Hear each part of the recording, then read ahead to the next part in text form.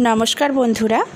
আজকে আমি একটা চিকেন রান্না দেখাচ্ছি। এটা একদম ঝামেলা নেই, কোনো ঝামেলা নেই, না কষানোর ঝামেলা, না মানে তেল মশলা খুব বেশি লাগে, তার ঝামেলা। খুব তাড়াতাড়ি হয়ে যায়। এটা বিক্রমপুরের একটা রেসিপি তো ভীষণ ভালো লাগে খেতে। চলুন দেখে নিই বিক্রমপুরি চিকেনের রেসিপি প্রথমে আমি এখানে মুরগির মাংস নিয়েছি। মাংসটাকে ভালো করে ধুয়ে জল ঝরিয়ে নিয়েছি। নিয়ে এর মধ্যে আমি পেঁয়াজ বাটা দিলাম। মাংসের পরিমাণ বুঝে সমস্ত মশলা দিতে হবে। এবারে কাঁচা লঙ্কা বেটে নিয়েছি, সেটা দিলাম।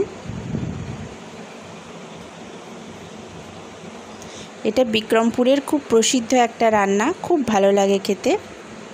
এবারে আদা, রসুন বাটা দিচ্ছি, বেশ বড় চামচের দুটা চামচ মতো। আর টক দই দিলাম। এখানে আমি প্রায় এক কাপের মতন দই দিয়েছি। আমরা যেরকম চায়ের কাপ ব্যবহার করি ওই রকম এক কাপের মতো দই দিয়েছি। আর গোটা গরম মশলার মধ্যে দারচিনি, লবঙ্গ, ছোটো এলাচ আর দুটো তেজপাতা। তার সাথে দিচ্ছি একটা লেবুর হাফ কেটে নিয়েছি, সেই লেবুটার হাফ রস।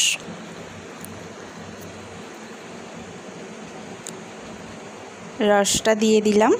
দিয়ে এবারে খুব ভালো করে এটাকে মাখিয়ে নেব। স্বাদ মতো নুন দিয়ে দিলাম, চিনিও দিলাম আর ঘি দিলাম। আপনারা যদি চান পুরো রান্নাটাই ঘিতে করতে পারেন, কিন্তু আমি এখানে অল্প করে ঘি দিলাম। আর কড়াতে যখন করব তখন একটু সাদা তেল অ্যাড করব।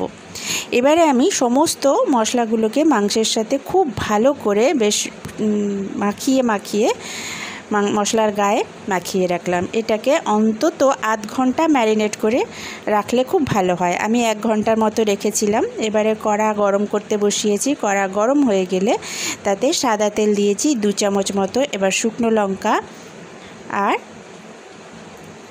একটা ছোটো এলাচ আর দুটো লবঙ্গ দিয়ে দিয়েছি।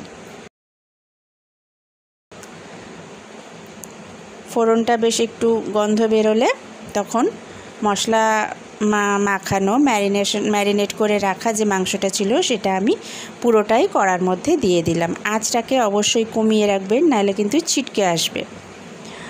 মশলা সমেত সমস্ত মশলাটা আমি দিয়ে দিলাম, মাংসটা দিয়ে দিলাম, দিয়ে এবারে একটা বাটি, একটা মাঝারি সাইজের বাটির এক বাটি দুধ আমি এতে মিশিয়ে দিলাম।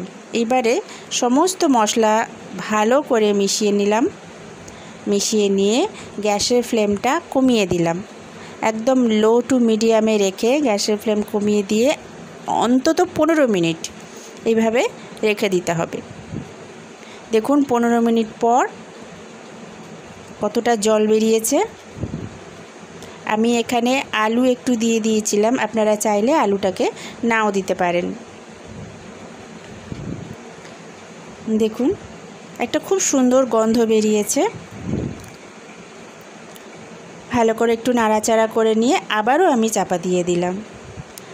পাঁচ সাত মিনিট পর ঢাকা খুলেছি, দেখুন, আবার জল বেরিয়েছে। অনেকটা জল বেরিয়েছে।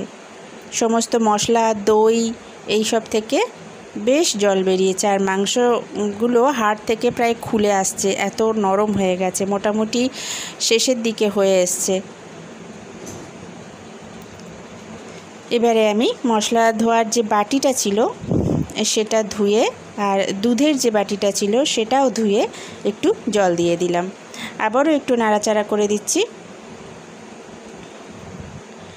নাড়াচাড়া করে ঢাকা চাপা দিয়ে আমি আট, তিন, চার মিনিটের মতন একটু ফুটিয়ে নেব। বেশ ভালো মতো ফুটে আসলে নামিয়ে নেব। দেখুন, ফুটে গেছে। মাংস আমার একদম রেডি বিক্রমপুরি চিকেন পরিবেশনের জন্য একদম তৈরি হয়ে গেছে। অসাধারণ খেতে লাগে। আমি একটু ঝোল ঝোল রেখেছি। আপনারা যদি মনে করেন যে গ্রেভি মাখা মাখা করে নেবেন, তাও করতে পারেন। এবারে গরম মশলার গুঁড়ো ছড়িয়ে দিলাম। গ্যাসের ফ্লেম অফ করে দিয়ে আমি চাপা দিয়ে দেব। একটুখানি অপেক্ষা করবেন। তারপরে খাবারের সঙ্গে সার্ভ করে দেবেন। ভাত, রুটি, পোলাও লুচি, পরোটা, যার সাথে খুশি। খেতে এত ভালো লাগে যে নিজেরা যতক্ষণ না ট্রাই করছেন, ততক্ষণ বুঝতে পারবেন না যে এটা কতটা ভালো হয় খেতে।